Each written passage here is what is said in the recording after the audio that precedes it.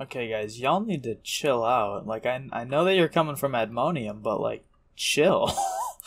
I've I've I've gained like 20 subs in the span of like a week because of Admonium's video. Like, I'm gonna be posting a video soon about um my journey myself on me getting 100 million pumpkins, but uh, don't want to like just ghost you guys that are that are coming in here. Um, but I am making a video, but like chill out. I'm getting like hundreds of views and like I've gotten like 20 subscribers. Just breathe.